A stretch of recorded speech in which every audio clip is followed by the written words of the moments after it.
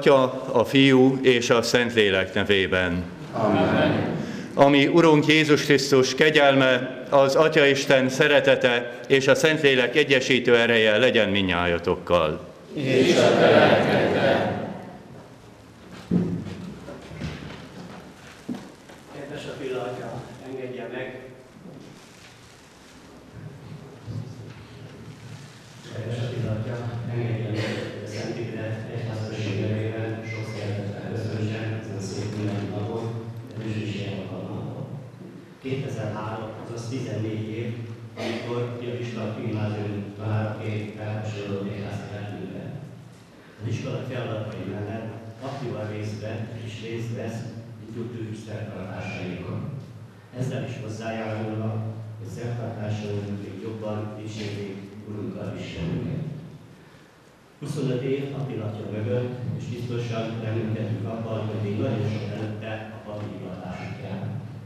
Az egyházközség minden tagja nevében ehhez kívánjuk és kérjük Isten áldását és bőséges kegyelmét, nagyon jó egészséget, erőt, állatosságot és hűséges, odaadó Isten és rendes szeretetet. Hálja Isten! Köszönöm szépen.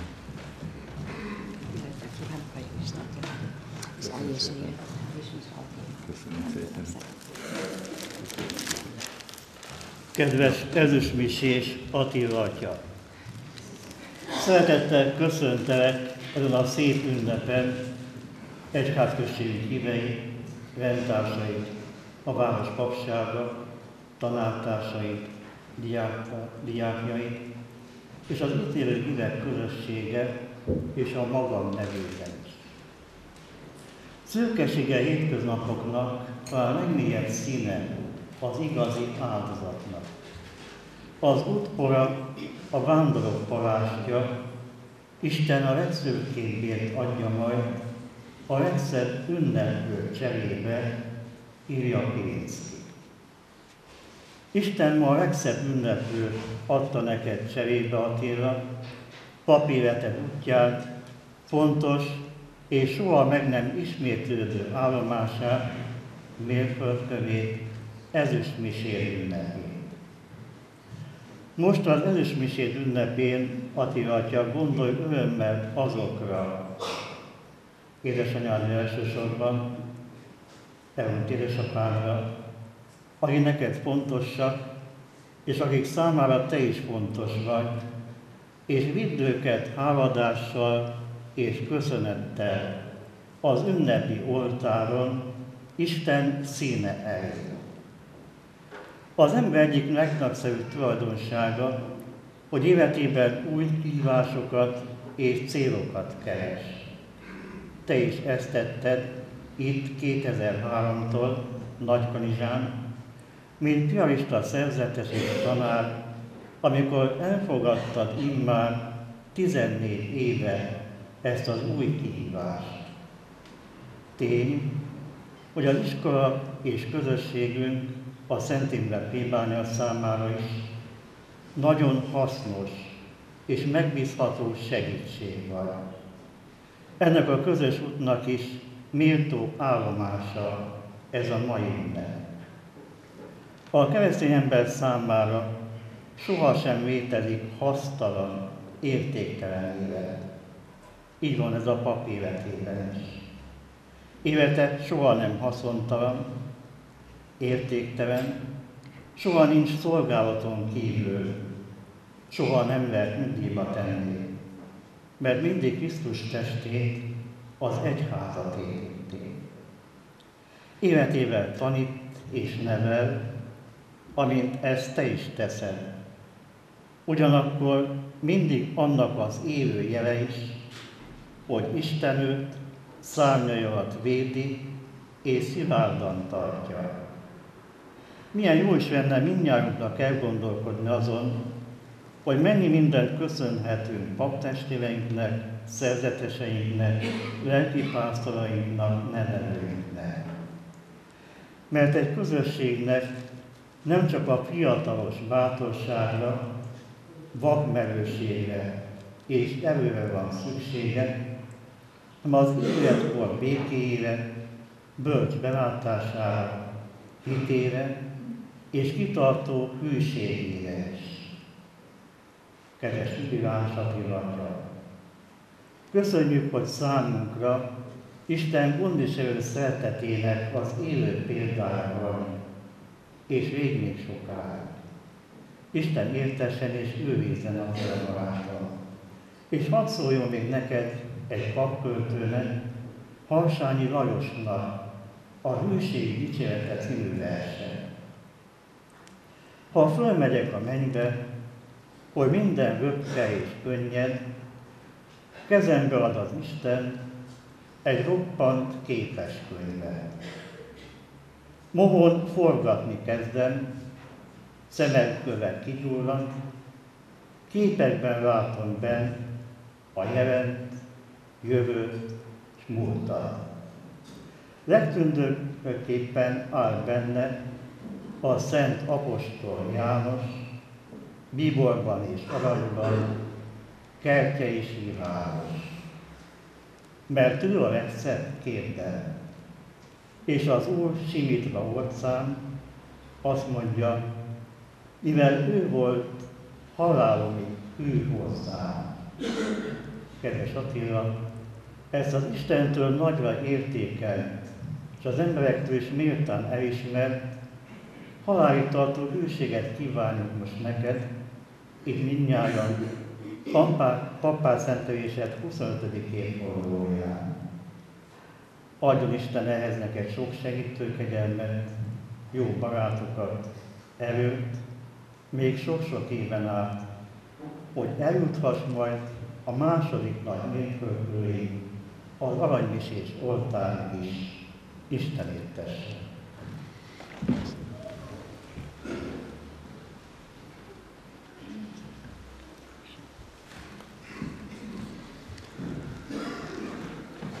Köszönöm szépen a köszöntő szavakat, és arra gondoltam közben, hogyha egy része igaz csak ennek a sok szépnek, amit mondtatok rólam, akkor is ez nagyon jó. És aztán az jutott eszembe, hogy egy néhány nappal ezelőtt találkoztam egy könyvbemutató kapcsán egy volt tanárommal, aki nem a teológián, hanem az egyetemen szaktárgyakkal kapcsolatban tanított, de akinek én nagyon sok mindent köszönhetek, és aztán hát pontosan az egyetemet is 25 évvel ezelőtt végeztem, úgyhogy így visszagondoltam arra azokra a tanulmányaimra is, és, és aztán köszönetet mondtam neki most így 25 év elmúltával, és aztán ő csak annyit tett, hogy fölfelé mutatott, hogy igazából a köszönet az oda kell, hogy szóljon, és én is ezt tudom mondani, hogy igazából azt hiszem minden köszönet, minden hála az Úristen felé kell, hogy irányuljon,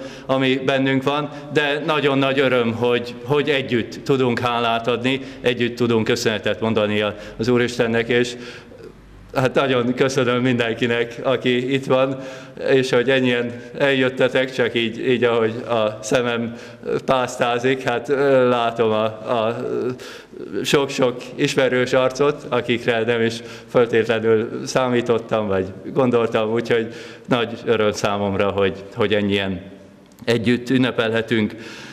Hát mindenek előtt annak nagyon örülök, hogy édesanyám ide is el tudott jönni. Tegnap este későn, hoztam előtt, és beszéltem rá, hogy, hogy jöjjön, úgyhogy neki különösen is köszönöm, és valóban édesapám azt gondolom, hogy odaföntről része ennek az ünnepnek már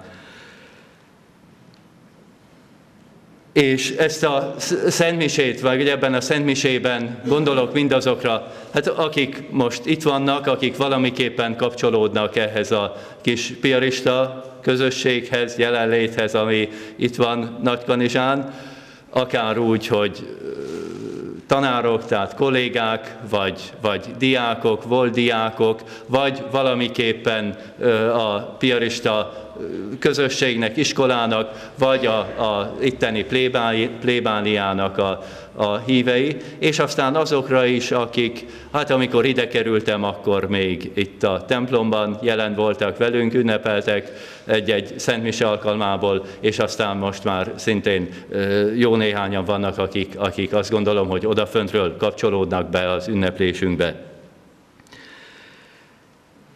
És egyetlen gondolatot így a Szentmise kezdetéhez hadd mondjak én is már, amit Ádám atya mondott, azt visszhangoznám, visszhangozom. Az ezüstmisés meghívónak a, a, a mottója, vagy idé, Szentírás idézete Szent János evangéliumából az utolsó vacsorán elmondott, Jézusnak utolsó vacsorán elmondott beszédéből. Azt mondja Jézus a tanítványainak, hogy barátaimnak mondalak most már titeket. Azt gondolom, hogy mindannyiunknak szól ez, és ezért is lehetünk most itt mindannyian hálásak, adhatunk hálát, hogy Jézus barátai lehetünk. És Utána folytatja Jézus, hogy nem ti választottatok engem, hanem én választottalak titeket, és arra rendeltelek, hogy gyümölcsöt hozzatok, maradandó gyümölcsöt. Hát ez is számomra nagyon fontos, meg nagyon vigasztaló gondolat. A 25 év az is különösen alkalmas arra, hogy az ember visszatekintsen, mérleget készítsen. De hát nagyon sokan, akik itt vagyunk, tanárok vagyunk, vagy diákok, rendszeresen mérleget készítünk hosszabb, rövidebb időszakáról az életünknek, aztán évvége tájékán ezt a mérleget ezt számszerűsítve is megkapjuk bizonyítvány formájában, már mint diákok, mi tanárok adjuk ezt, tehát így az életünknek a része az, hogy értékeljük folyamatosan az életünket. És bizony az ember időnként aggódva, vagy akár szorongva tekinthet erre a mérlegre, biztos, hogy én is a 25 évre visszatekintek, hát abban sok, sok minden volt, jó is, rossz is, mármint olyan, ami, ami tőlem ered. És akkor az ember, az a kérdés, akár kínoszhatja, hogy, hogy vajon mi a értelme, haszna, gyümölcse ennek. És olyan jó azt tudni, hogy Jézus azt mondja, hogy, hogy van egy az életünknek egy, egy másik és sokkal igazabb értékelése, mint ami itt a bármilyen földi fórumon tapasztalható, látható, és, és azt mondja, hogy ha még, még ugye, ugyanebben a szakaszban mondja azt, hogy maradjatok bennem, maradjatok meg az én szeretetemben, és akkor én is bennetek maradok. És azt mondja Jézus, hogy hogyha ez az életünkben megvan, ez a ö, törekvés, ez a szándék, és ő benne maradunk, akkor, akkor az életünk az lehet, hogy, hogy egy-egy pillanatban nem úgy tűnik, vagy kudarcok is érik az életünket, vagy kudarcok érnek bennünket, de összességében a végső elszámoláskor Jézus azt fogja mondani, hogy, hogy igenis a, a, az életünk az az ő, ő szándékai szerint zajlott, és, és ha mi nem is értjük, tudjuk, de gyümölcsöt hoz. Ha benne maradunk. Szentmise elején, minden Szentmise elején bűnbánatot, lelkiismeret vizsgálatot tartunk, és pontosan annyi a dolgunk ilyenkor, hogy azt a szándékunkat, megújítsuk, és azt tudatosítsuk, hogy legfontosabb az, hogy Jézusban maradjunk, hogy ő vele kapcsolatban legyünk, és a Szentmise elején pedig, hogyha ha valami, ha azt tapasztaljuk, hogy valami akadályozza ezt a kapcsolatot, akkor azt igyekezzünk az életünkből eltávolítani. Ebben is segítségünkre jön nem vagyunk magunkra hagyva, kérjük őt, hogy, hogy segítsen el távolítani az életünkből azt, ami akadályozza vele való kapcsolatot, ami akadályozza azt, hogy ő benne maradjunk, az ő szeretetében maradjunk. Ezzel a gondolattal kezdjük a Szentmisét, vizsgáljuk meg lelkiismeretünket, bánjuk meg bűneinket.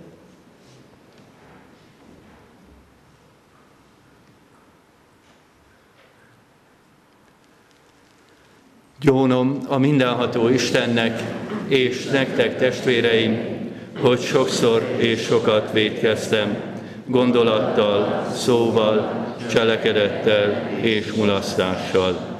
Én védkem, én védkem, én igen nagy védkem. Kérem ezért a boldogságos, mindenkor szeplőtelen Szűzmáriát, az összes angyalokat és szenteket, és titeket, testvéreim, hogy imádkozzatok érettem Urunkhoz, Istenünkhöz. Irgalmazzon nekünk a mindenható Isten, bocsássa meg bűneinket, és vezessen el az örök életre.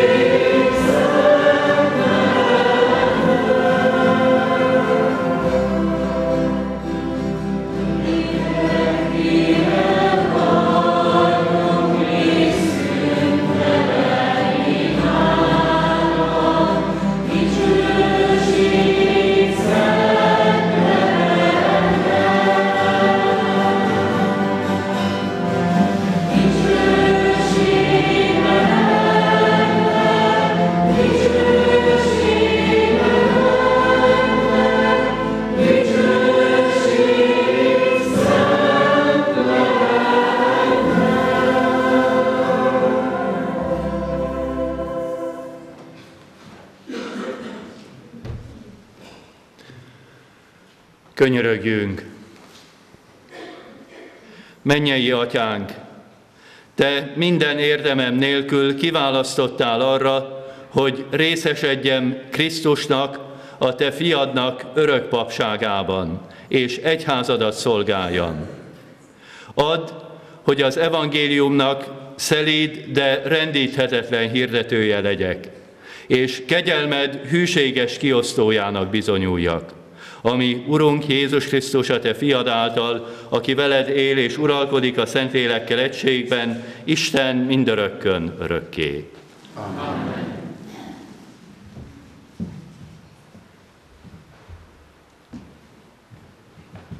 Olvasmány Jeremiás próféta könyvéből. Jeremiás próféta így panaszkodik szenvedése idején. Hallom sokak gyalázkodását, rettegés mindenütt. Jelentsétek föl, följelentjük. Még azok is, akik barátaim voltak, bukásomra lestek. Hát, ha valamiképp törbe csalhatnánk, legyőzhetnénk, és bosszút állhatnánk rajta. De az Úr, mint hős harcos, mellettem áll.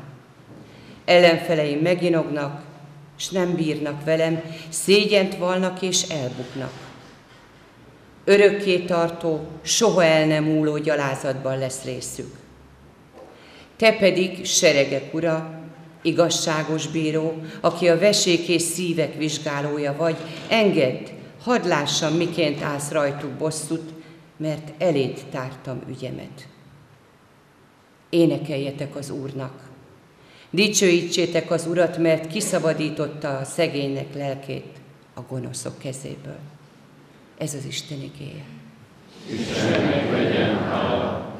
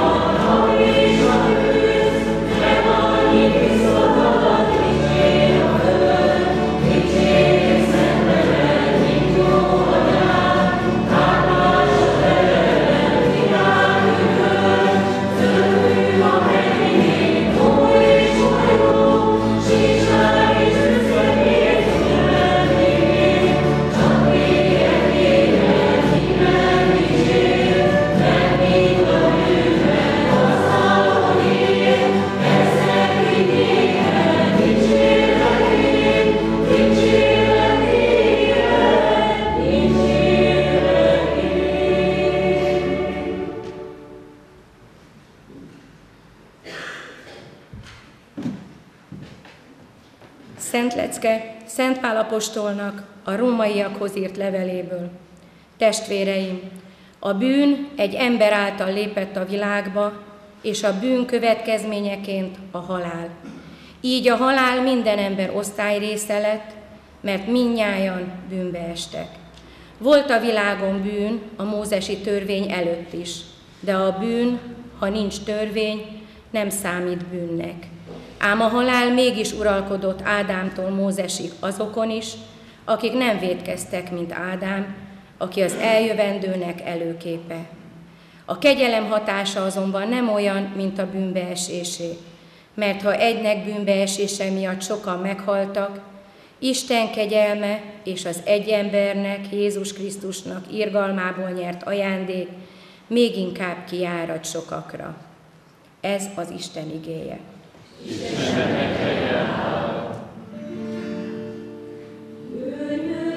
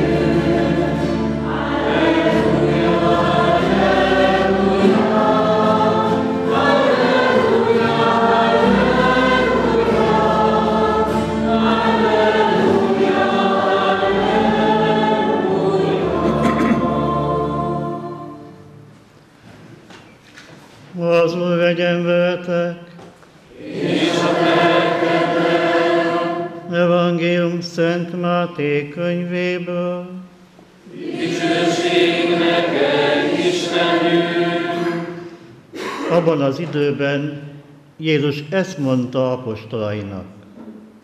Ne féljetek az emberektől. Nincs rejtett dolog, amelyre fényre derülne, sem titok, mely ki ne tudódnék. Amit én sötétben mondok nektek, azt ti mondjátok el világosban, és amit fülbe sugva hallotok, hirdessétek a háztetőkön. Ne féljetek azoktól, akik a testet megölik, de a lelket nem tudják megölni.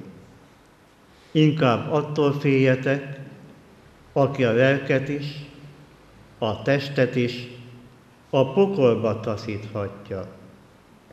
Egy fillérért ugye két verebet adnak, és mégsem úr a földre egy sem közülük, atyátok tudta nélkül.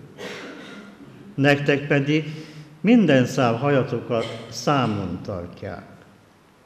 Ne féljetek hát, sokkal többet értek ti a verebeknél. Ha valaki megval engem az emberek előtt, én is megvallom őt atyám előtt, aki a mennyekben van.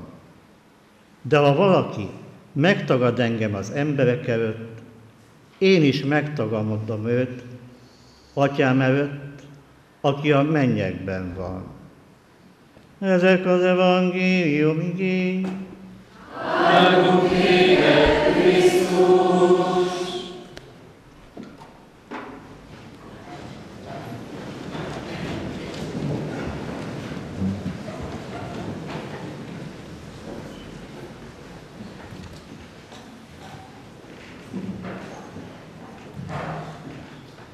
Kedves testvéreim, Attila atyával őszinte, mély barátság köt össze, most már sok-sok évtizede. És talán ez a barátság az, amely Attila atyával ö, azt az elhatározást hozatta, hogy engem kérjen föl itt Kanizsán a mai ünnepi alkalom szónokával. De amennyire ismerem a huncutságát, el tudom képzelni, hogy az evangélium utolsó mondata ragadta meg a figyelmét, hogy élő valóságomban ö, biztassalak benneteket arra, hogy sokkal többet értek, mint a verebek. Az előbb hallott három evangéliumi szakasz nagyon mély tanítást hord magában. Az első az Ószövetségből, Jeremiás könyvéből való szakasz. Jeremiás nagyon szerethető ember. Jeremiás nagyon őszinte lélek. Mélyen emberi. Magamra ismerek benne, és gondolom ti is hasonlóképpen vagytok ezzel. Jeremiás, amikor ö, valami bántás éri, és erről hallottunk, hogy aztán be is börtönzik, de még a bebörtönzése előtt, az elfogatása előtt, hogy mindenfelé följelentjük, fogjuk el, gyalázzuk meg, és így tovább. Üldöztetésben van része. És az emberi igazság érzet valahol egyfajta jóvátételért kiállt, egyfajta, az igazságnak egyfajta érvényre jutásáért, hogy a mérlegnek a két serpenyője valahol billenjen egyensúlyba. Ez az Ószövetségben a szemet szemért, fogad fogért elvben fogalmazódik meg. És ez az ószövetségi gondolkodás jelenik meg Jeremiásban, hogy amikor ő maga ugyan nem tesz azért lépéseket, hogy megtorolja a rajta esett sérelmeket, de azért szeretné azt látni, hogy az Úristen nyakon csípi az ő ellenfeleit, és valamilyen formában végez velük. És ezzel szemben ott áll az új szövetség, Jézusnak a szeretet parancsa, aki azt mondja, hogy az ellenséget nem megtorolni kell, hanem az ellenséget szeretni kell. Veszünk egy mély lélegzetet, és, és azt mondjuk, hogy valóban igaza van Jézusnak, de akkor is valahol ez az ószövetségi ember munkálkodik bennünk, valahol a zsigereinkben, valahol a tudatalattinkban, és nagyon észnél kell lennünk, hogy adott élethelyzetekben valóban új szövetségi, Jézusi módon tudjunk gondolkodni. Mint egy ennek a gondolatkörnek a folytatása az evangéliumi szakasz, ahol Jézus arra hívja föl a figyelmünket, hogy ne azoktól tartsunk, akik a testet képesek megölni, hanem a léleknek a gyilkosaival vegyük föl a küzdelmet. Azoktól tartsunk igazán. Manapság olyan világot élünk, Magyarországon talán kevésbé, de Nyugat-Európában inkább, hogy adott esetben az emberek félve mennek el szórakozóhelyekre, vagy félve mennek ki pályaudvarokra, vagy más ö, nagyobb tömegek által látogatott helyekre, mert a terror veszélyben bármi is történhet velük. És ugyanakkor nem félünk azoktól a tényezőktől az életünkben, amelyek lélekgyilkosok, amelyek lélekölő dolgok az életünkben. Legyenek ezek akár, teszem azt az internetről, érkező információk, legyenek akár a, a nagyvilágban olyan események és azokkal való azonosulásunk, amelyek, amelyek nem a javunkat szolgálják, nem a Krisztusi ember épülését segítik elő a bensőnkben. Aztán ezzel párhuzamban talán azt is mondhatom, egy kicsit át ö, lényegítve a szöveget, hogy nagyon fontos sok esetben számunkra a mások véleményének való megfelelés. És sokkal jobban tartunk attól, hogy jaj, mit gondolnak rólunk az emberek. Szülő is esetleg úgy küldi el a, a gyermekét valahova, vagy tanára, tanítványát, hogy mit fognak rólad gondolni az emberek. És nem az a fontos számunkra, hogy mit gondol rólunk az Isten. Pedig ez sokkal fontosabb szempont, és a lélek épülését is sokkal inkább szolgálja. Szent Pál apostol a, az imént hallott levél részletben arról tanít bennünket, hogy a rossznál sokkal többet ér a jó. Érdekes az a matematika, amit Szent Pál elénk vázol, hogy egy ember, azaz Ádám bűne által az egész emberiségre áterett az ősbűn következménye, és ezáltal, ahogy szoktuk mondani, akaratunk meggyengült, értelmünk elhomályosult. És minden ember hajlamos arra, hogy gyenge legyen, rossz döntéseket hozzon, át nem gondolt döntéseket hozzon, hibázzon, bűnt kövessen el.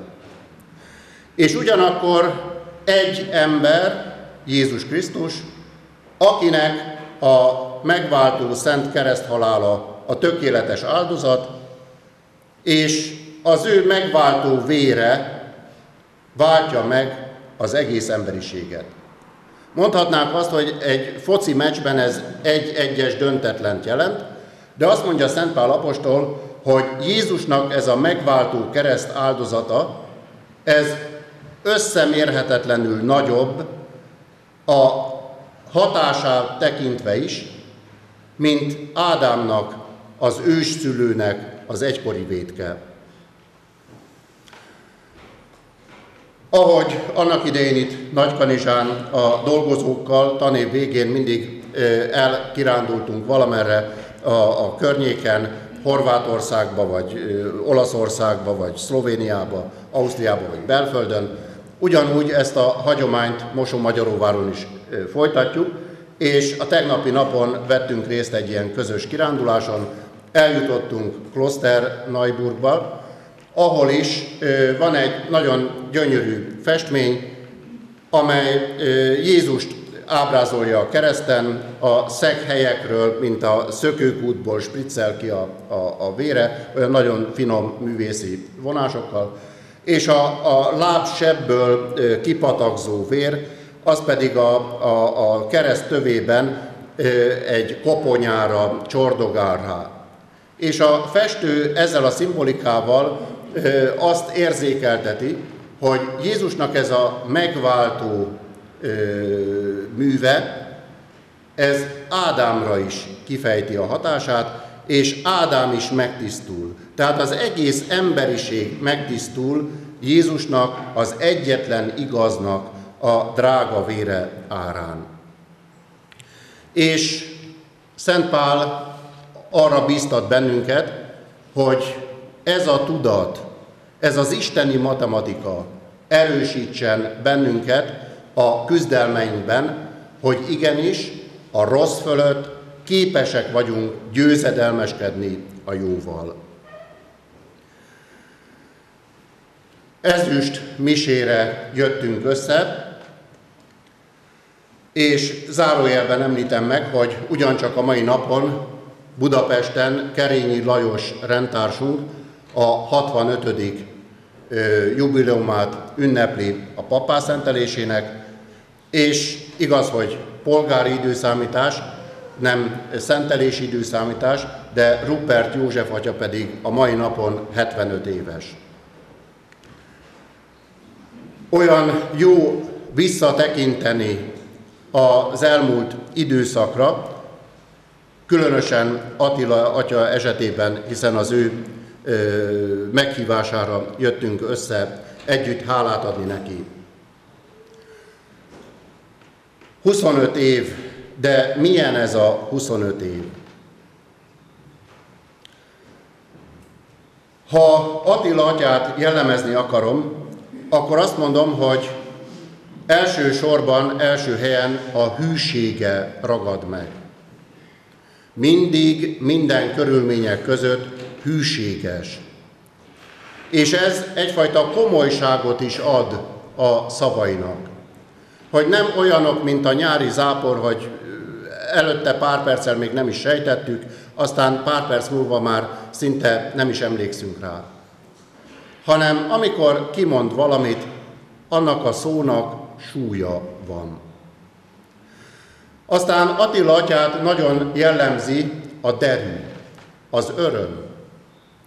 És én ezt oda és vissza is ö, megfogalmazom, hogy részben az ő lényéből egy állandó belső derű árad, nyilván nem kell magyaráznom, hogy honnét, és mindazok, akik kapcsolatba kerülnek vele, akár tanítványok, akár kollégák, akár más ö, módon, azok mind részeseivé válnak erre, ennek a derűnek, átragad rájuk az Úristennek ez a, a vidámsága.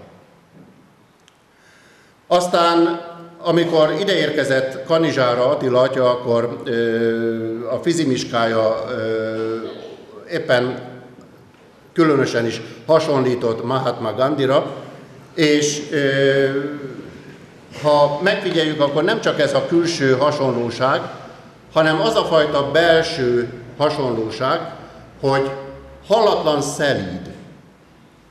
És ahogy Gandhi például annak a bizonyos sólepárló üzemnek a, a, a visszafoglalása ö, során egyetlen egy agresszív mozdulatot nem tett, hanem mint a báránya nyírója előtt oda álltak a, a, a vele szimpatizánsok, Indiának a népe, és az angol gyarmat birodalomnak a, katonái ütlegeit szótlanul elviselték, és erkölcsileg akkora győzelmet arattak, hogy az angolok megszégyenülve távoztak. Hát valahogy Attila atyát is ez a szótlan szelítség és ennek az ereje képviseli.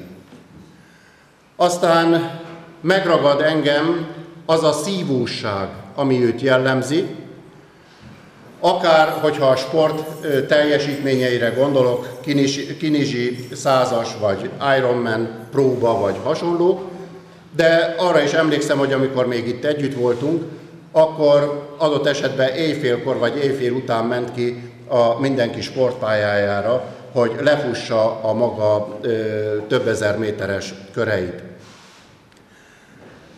Ez a szívóság az önlegyőzésnek az eszköze. És talán pont ezért tud különösen is szeretettel lenni a, a, a többiek iránt, és ezért tud különösen is szeliden föllépni, mert sikerül saját magát jó értelemben kordában tartani, erőben tartani, és ahogy a sportnak a fegyelme az élet minden területén megtapasztalható, ez a, a, a belső győzelem is sugárzik az életéből. Aztán a szellemi igényessége.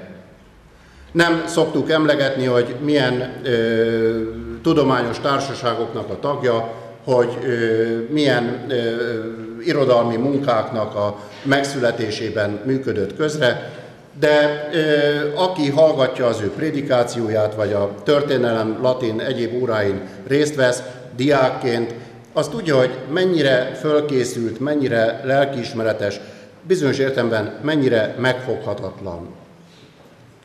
És ez a, a, a, a szellemi igényessége is nagyon inspiráló az ember számára, hogy én se érjem be felszínes plegykákkal, vagy nem tudom mikkel, hanem, hanem valóban én is igényesen a tiszta forrásból dolgozzak, és, és fölkészült legyek a magam területén.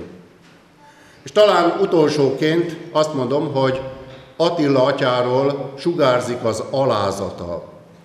És pont ez a, a, a, a picit csöndesen, picit az árnyékban maradás képessége teszi őt hitelessé.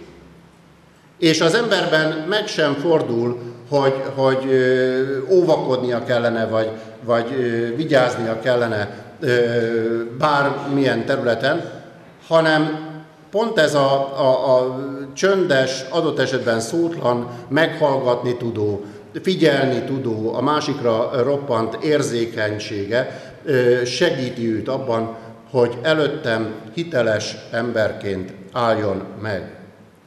És talán azzal foglalhatom össze, ahogy a Szent fogalmaz Jézusra vonatkozóan, hogy ő általa és ő benne szerethető, ismerhető föl a piarista rend, illetve tágabban Jézus tanítványainak, testvéreinek a közössége. És végül egy matematikai hasonlattal zárom. A matematikában szoktuk azt mondani, hogy minden egyenesnek van egy pontja. Ha ez a két egyenes párhuzamos, akkor a végtelenben van az az ideális pont, ahol találkoznak. A Krisztusi út, amelyet a Szentírás tárt elénk, az az egyik egyenes. Aztán azok az utak, amelyet az előttünk járt és a közöttünk élő szentek képviselnek, azok a további egyenesek, amelyek ezzel a Krisztusi úttal párhuzamosak. És megmerem kockáztatni, hogy Attila atya is úgy van jelen közöttünk papságában 25 éve, hogy ő is egy ilyen párhuzamost jelent az előbbi egyenesekkel. Én azt kívánom minden jelenlévőnek, magamnak is, hogy a mi egyeneseinket vagy görbéinket igyekezzünk úgy alakítani, hogy ebbe a párhuzamos rendszerbe mi is beilleszkedjünk, és ott az ideális pontban, az Istennél, az örökké valóságban minnyáján találkozzunk. Amen.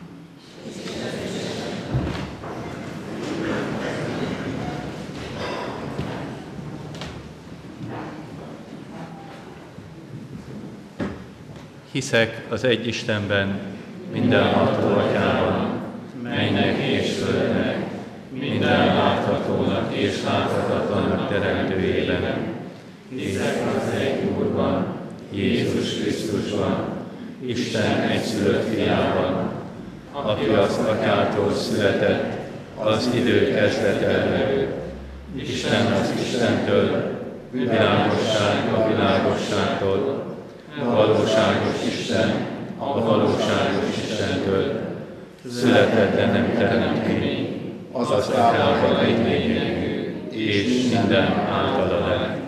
Értünk emberekért, a mi üdvösségünkért, leszállott a mennyből, megtestesült a Szentlélek erejéből, Szűz Máriától, és lélek. Poncius Pilátussal értünk keresztre feszítették, kín halál szenvedett és eltemették. Harmadnapra feltámadott az írásos szerint, fölment a mennybe, ott ül az atyának jobbján, de újra eljön dicsőségben, ítélni élőket és voltakat, és országának nem lesz vége. Hiszek a Szentlélekben, Urunban és értetőnkben, aki az atyától és a fiútól származik, akit épp úgy imádunk és dicsőítünk, mint az atyát és a fiút. Ő szólt a proféták szavával. Hiszek az egy, szent, katolikus és apostoli anyaszent egyházban. Vallom az egy keresztséget, a bűnök bocsánatára. Várom a holtak feltámadását, és az eljövendő örök életet. Amen. Testvéreim, Isten megsegít és gondoskodik rólunk. Forduljunk hozzá bizalommal kéréseinkkel. Add, Urunk, hogy az egyház bátran hirdesse és vallja meg az evangéliumot az egész világ előtt. Kérünk, Kérünk téged, hallgass meg minket. Add, Urunk, hogy a kegyelem túláradása megfékezze a világban a bűnhatalmát. Kérünk téged, hallgass meg minket. Add, Urunk, hogy a betegek és a szenvedők kegyelmedből erőt és vigasztalást merítsenek. Kérünk téged, hallgass meg minket. Add, Urunk, hogy híveid szavukkal és életükkel tegyenek róla tanulságot az emberek előtt. Kérünk téged, hallgass meg minket. Add, Urunk, hogy az elhunyt szeretteink minél előbb eljussanak szent színet boldogító látására. Kérünk téged, hallgass meg minket. Istenünk, világosíts meg kegyelmeddel hívő népedet, hogy mindennél többre becsüljük a lélek örök értékeit, Krisztus, ami Urunk által. Amen.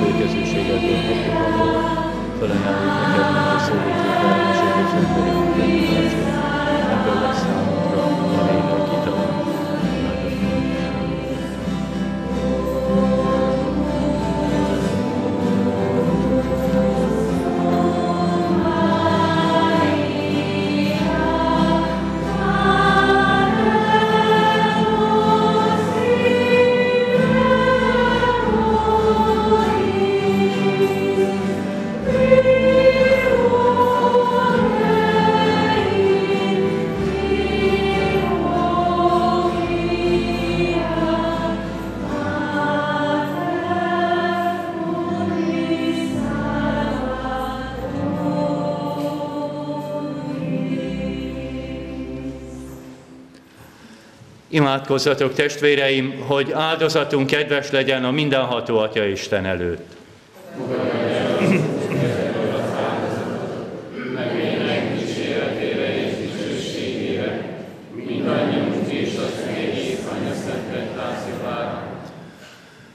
Urunk Istenünk, bemutatjuk neked a dicsérő áldozatot, hogy szolgálatunkban megerősíts, és amit érdemünk nélkül ajándékba adtál, azt kegyelmedből tett hatékonyá bennünk.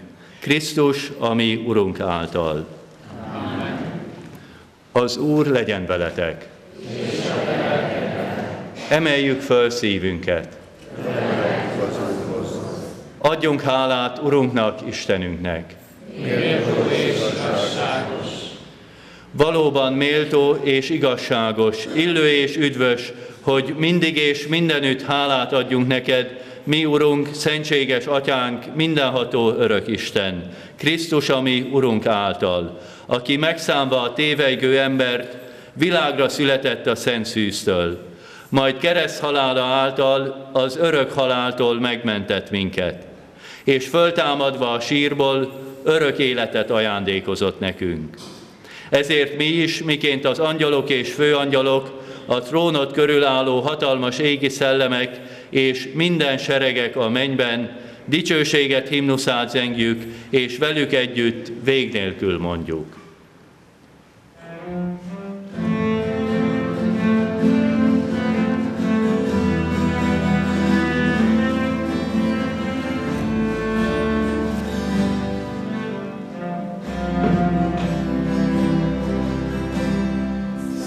for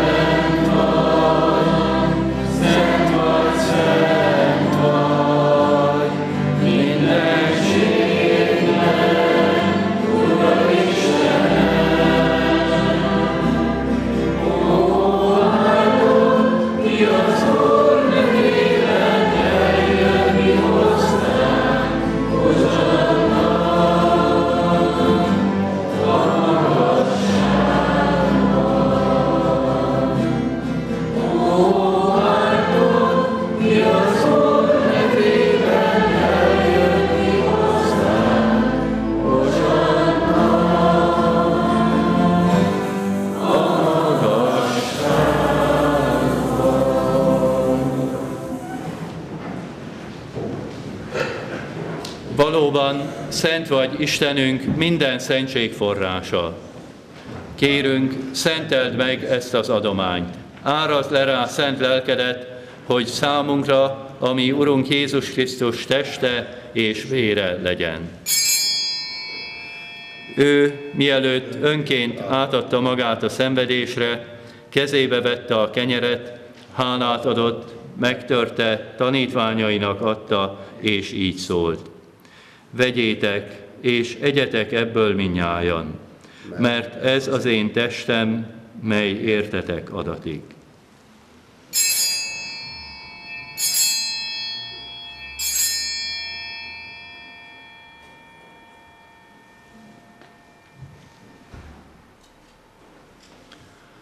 A vacsora után ugyanígy kezébe vette a kejhet is, majd ismét hálát adott, odaadta tanítványainak, és így szólt. Vegyétek, és igyatok ebből minnyájan, mert ez az én vérem kejhe, az új és örök szövetségé. Ez a vér értetek, és sokakért kiontatik a bűnök bocsánatára. Ezt cselekedjétek az én emlékezetemre.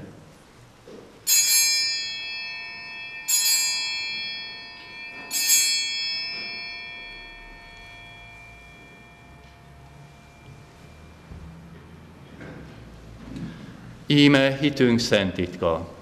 Halálodat hirdetjük, Urunk, és hitályoljuk feltámadásodat, amíg el nem jössz.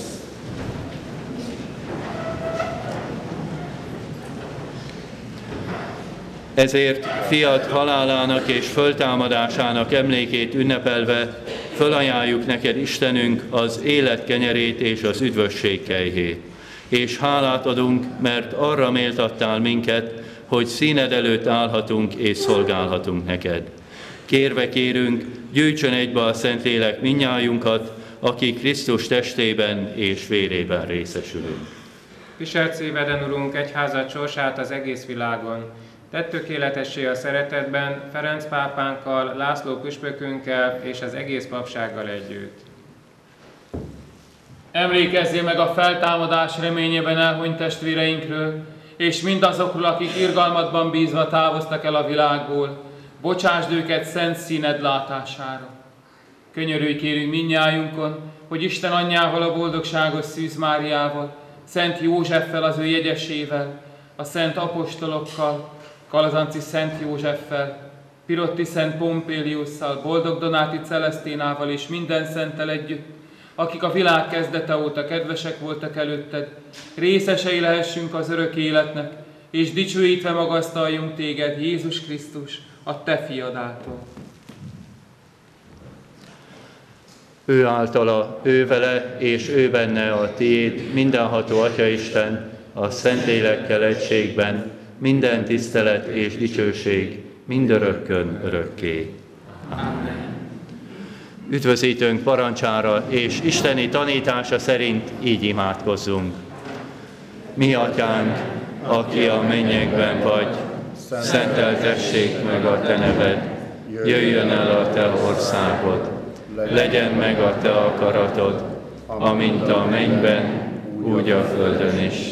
Minden napi kenyerünket add meg nekünk ma, és bocsásd meg védkeinket, miképpen mi is megbocsájtunk az ellenünk védkezőknek. És ne védj minket kísértésbe, de szabadíts meg a gonosztól.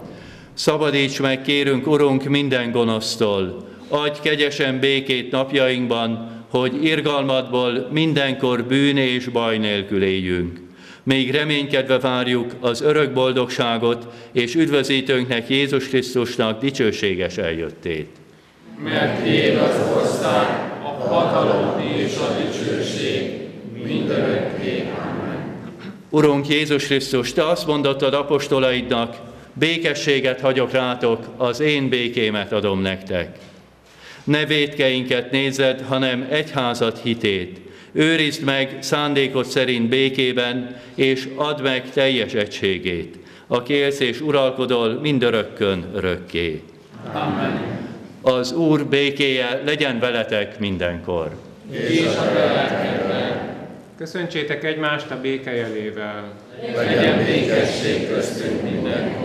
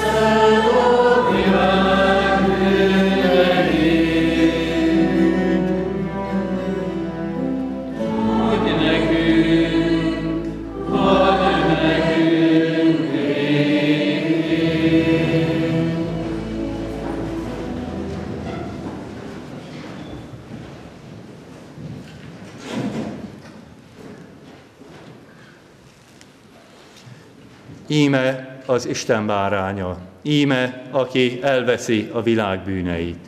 Boldogok, akiket meghív asztalához Jézus, az Isten báránya.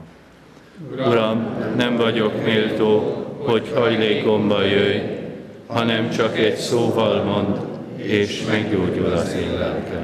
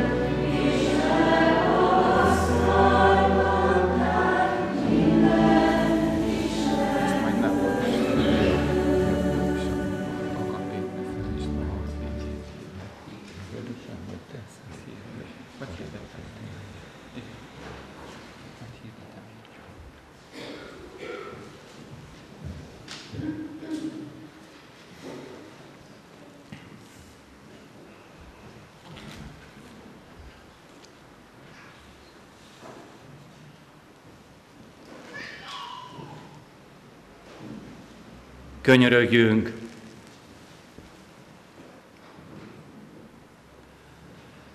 Istenünk, papá szentelésem évfordulóján örvendezve mutattam be a Szent Misa áldozatot Szent neved dicsőségére. Add, hogy valóságosan egyé váljunk Krisztussal, akinek áldozatát a szent színek alatt bemutattam, aki él és uralkodik mindörökkön örökké.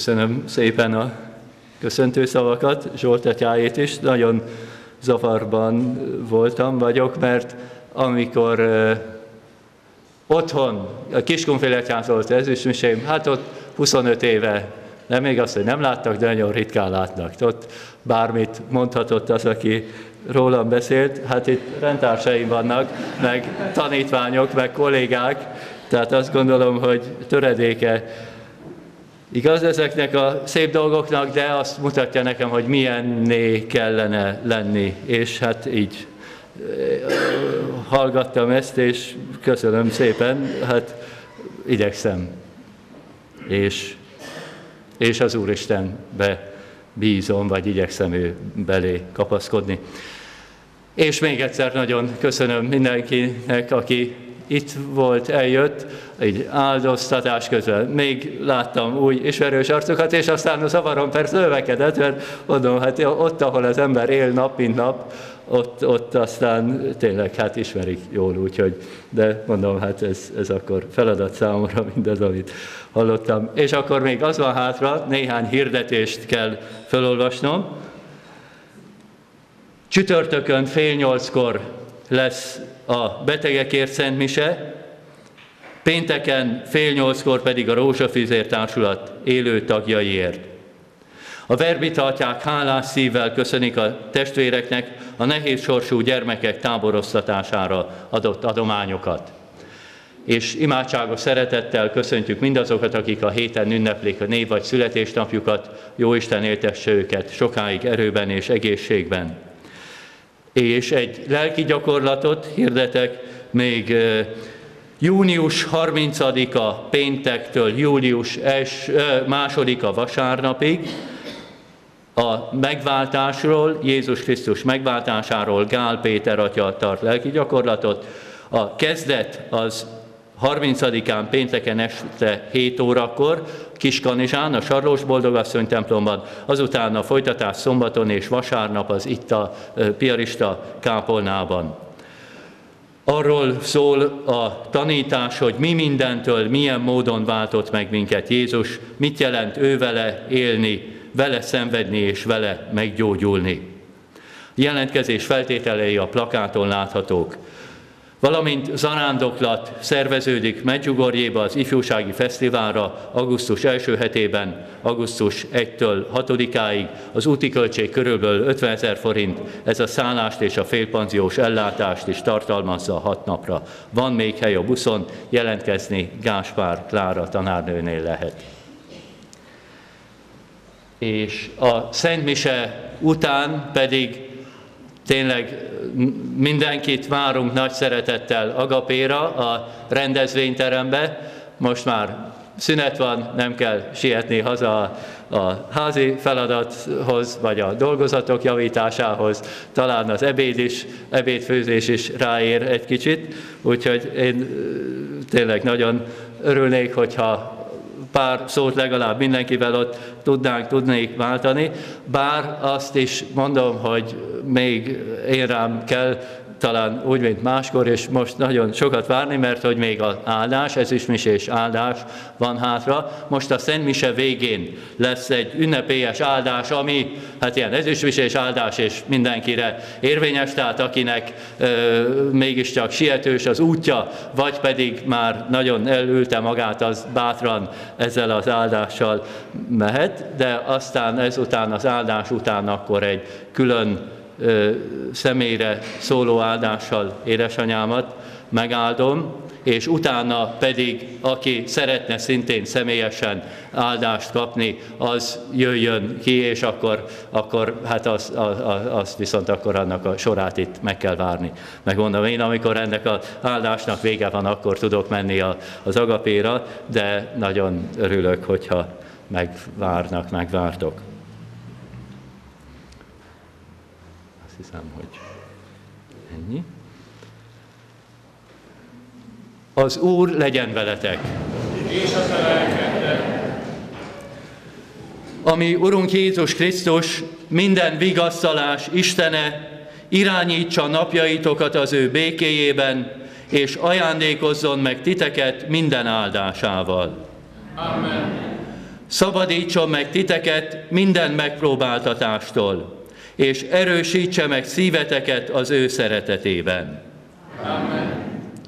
Hitben, reményben és szeretetben bővelkedve éljétek a földi életet. Mindennapi munkátok legyen érdemszerző, és jussatok el a boldog örök életre. Amen.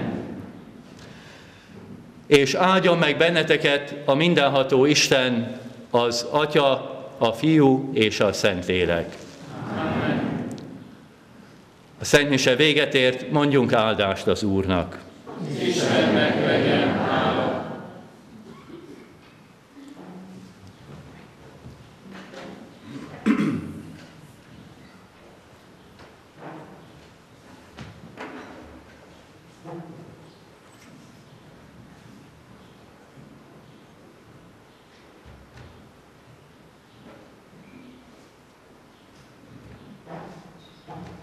Szeretetének tüzét gyújtsa meg szívedben az Isten.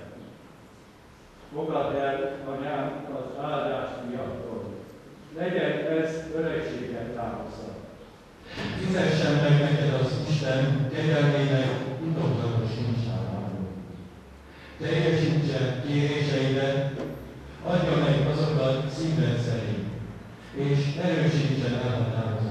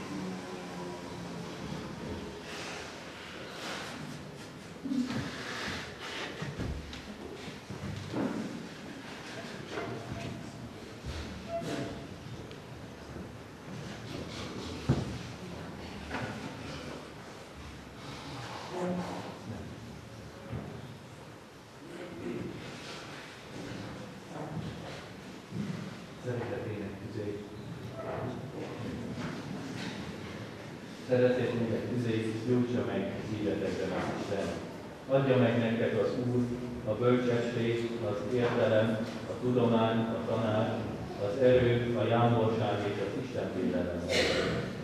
Világosítsa meg harcotokat, emlékezzék minden imádságotokra, és legyen neki tetsző minden áldozatotok. Adjon nektek az Úr hosszú életet, és minden égi és földi áldással áldjon meg titeket az Atya, a Fiú és a